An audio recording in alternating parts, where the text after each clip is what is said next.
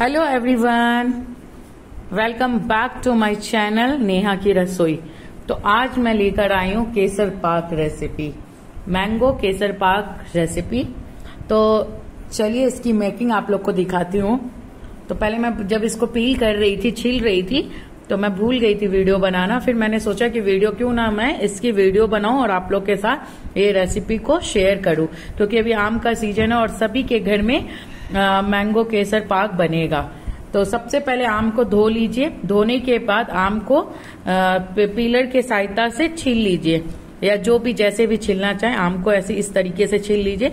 उसके बाद हम लोग के सभी के घर में ये कद्दूकस वाला साचा, ये है, इससे हम लोग कद्दूकस करेंगे। इस तरीके से आप लोग कद्दूकस कर लीजिएगा। ये ऐसे लच्छा हो जाएगा। तो चलिए हम लोग इसे कर कर फिर आप लोग को आगे की विधि बताती हूँ। तो गाइस पूरा ये कद्दूकस कर लिया मैंने। अब इस, इसे बनाऊँगी। तो आप लोग देखिएगा कैसे मैं एक एक स्टेप आप लोग भी फॉलो करिएगा। तो गाइस मैंने कढ़ाई चढ़ा ली है, गैस चढ़ा लिया है। अब मैं इस छिले हुए आम को, पूरा कद्दूकस किए हुए आम को इस कढ़ाई के अंदर डालूँगी। दो किलो आम थे गाइज़ मेरे ये। लेकिन घस के ये डेढ़ किलो से भी थोड़ा सा कम ही हुए हैं।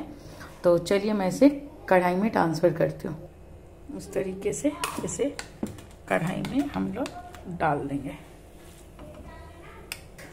मैंने इसको कढ़ाई में डाल दिया है और ये हाफ़ के जी का मेरा ये चीनी का डब्बा है। तो हाफ़ के जी से ज़्यादा चीनी लगता है। अब मीठा अचार है तो थोड़ा अचार तो मीठा ही अच्छा लगता है। खट्टा मीठा, आम तो बहुत खट्टा है।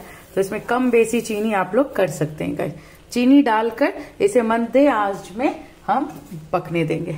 तो मैंने आँच को धीमी कर ली है और इसे मिक्स कर रही हूँ। मिक्स करने के बाद ये अपना धीरे धीरे पकना स्टार्ट होगा।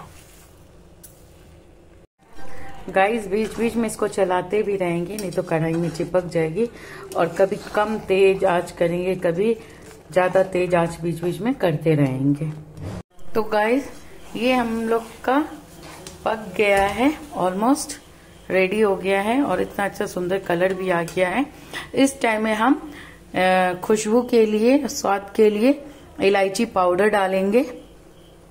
आप, जिसे पसंद नहीं है वो स्किप भी कर लेगा, लेकिन आप डालिएगा तो बहुत अच्छा फ्लेवर आएगा। इलायची एक अपने आप में एक स्ट्रांग फ्लेवर है।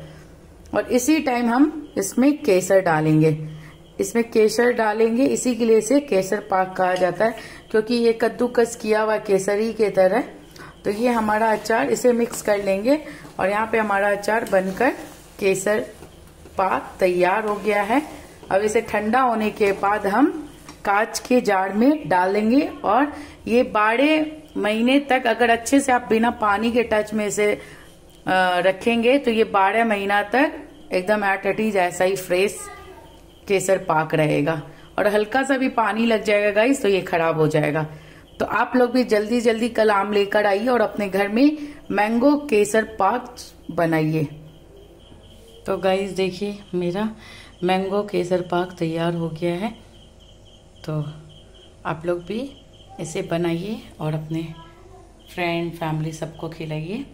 और ये आप किसी भी चीज़ के साथ खा सकते हैं, रोटी के साथ भी, चा, चावल दाल के साथ भी ये बहुत टेस्टी होता है। और किसी स्टफ़ पराठा के साथ भी खा सकते हैं। तब तक के लिए आप लोग बने रहिए। मेरी वीडियो कैसी लगी लाइक कमेंट शेयर ज़रूर करिएगा। और मेरे चैनल पर नए हैं तो चैनल को सब्सक्राइब ज़रूर करिएगा। तब तक के लिए bye good night all of you